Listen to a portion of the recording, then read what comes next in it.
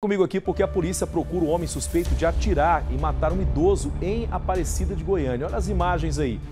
Ele, é, esse homem é o que aparece, aquele, ó, ali deu um primeiro tiro, esse aí.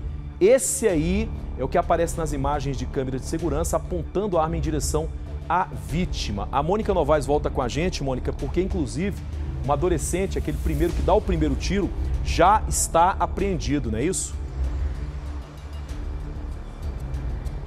É isso mesmo, viu, Fred? É, momentos depois, então, desse crime chocante aí que tirou a vida do seu Sebastião Silva, de 65 anos de idade, a polícia foi acionada e conseguiu prender um dos dois homens que aparecem aí, né, fazendo esses disparos. Foram disparos de uma pistola calibre 380, tiros atingiram a cabeça do seu Sebastião, que estava sentado ali na porta de uma distribuidora, na calçada, fazendo palavra cruzada, tomando um refrigerante no Parque das Nações, quando esses atiradores chegaram é, é um menor, ele tem 16 anos, esse que foi apreendido, e ele teria falado para a polícia que o alvo não era o seu Sebastião. O alvo seriam é, integrantes de uma facção rival que estariam ali, ou eles acharam que estariam aí, mas acabaram atingindo então os tiros no seu Sebastião. Eu estou aqui no IML, para onde foi trazido o corpo do seu Sebastião, permanece aqui, a família já esteve por aqui, está providenciando todos os documentos necessários, né? O corpo já foi liberado, mas tem toda uma série de burocracia, documentações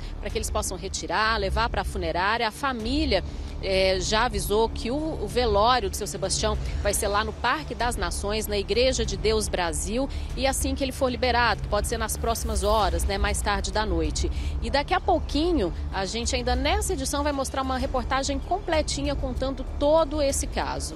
Volto com você, exatamente, Fred. Exatamente, Mônica. Acompanha comigo, vamos trazer agora o que disse esse menor no momento em que foi apreendido pela polícia, o que, é que ele contou? Acompanha com a gente. Põe na tela, Dudu. É você que aparece nas imagens é, realizando disparo de arma de fogo? Sim, sim. E o que, que aconteceu durante esse disparo de arma de fogo? O que aconteceu aqui não era pra pegar a gente inocente, né?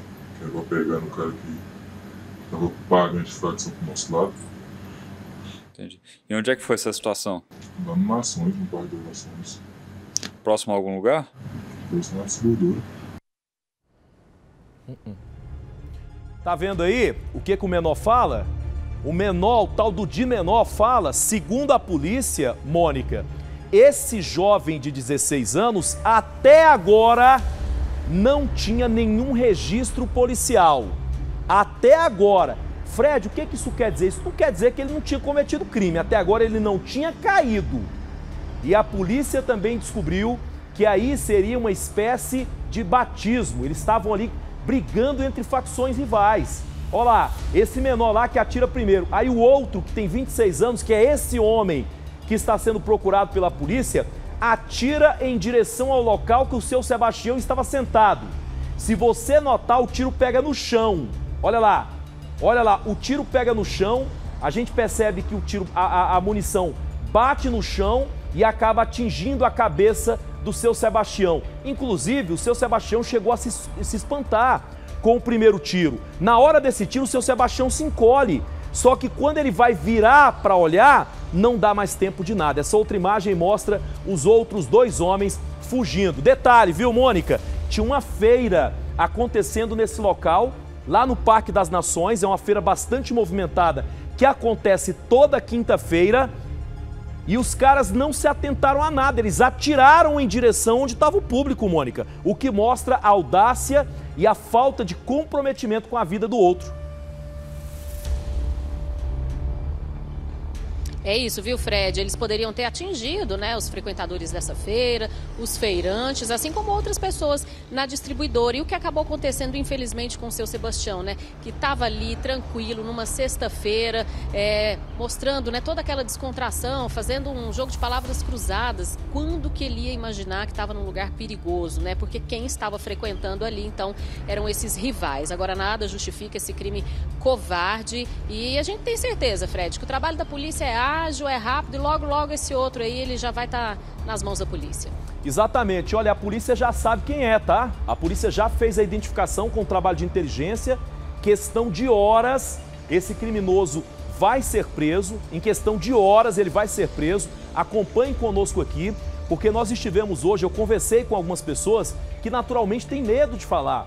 O seu, o seu Sebastião, ele ia toda quinta-feira para esse local. Ele gostava de estar no local, sentava ali, ficava observando o movimento. Ele mora a poucos metros de onde ele estava. Olha só, esse é o momento que ele se assusta, ele chega a olhar para trás. Olha lá, só que não dá tempo. Quando ele se encolhe, o tiro que bate no chão, se você notar, volta lá, volta lá, Eduardo, a imagem.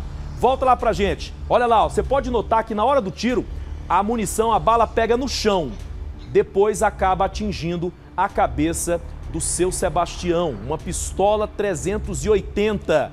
É o que a polícia acredita ter sido usada nesse crime covarde que tirou a vida desse pai de família. A família está arrasada, arrasada. Hoje nós passamos a tarde toda. A Mônica está na frente do IML, né, esperando a família, porque eles estiveram lá 10 horas da manhã, estão arrasados, passaram o dia inteiro tratando de documentos para o velório, para o enterro.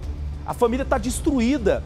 Seu Sebastião era um cara que estava ali só observando, fazendo ali né, o papelzinho dele ali com, com, com palavras cruzadas, tomando o refrigerantezinho dele, é, é, nem um pouco preocupado ali, estava num lugar onde ele já tinha o hábito de estar.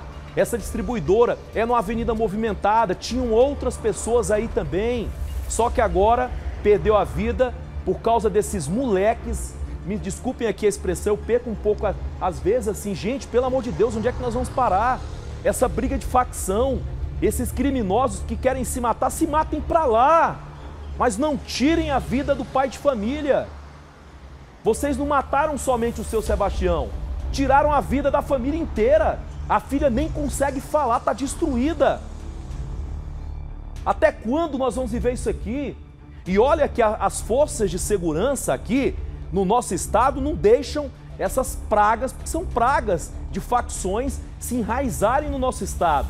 Mesmo assim, ainda tem essas, essas, essas, deixa eu segurar aqui para não falar besteira, que acabam saindo de casa armados para poder tirar a vida de um pai de família.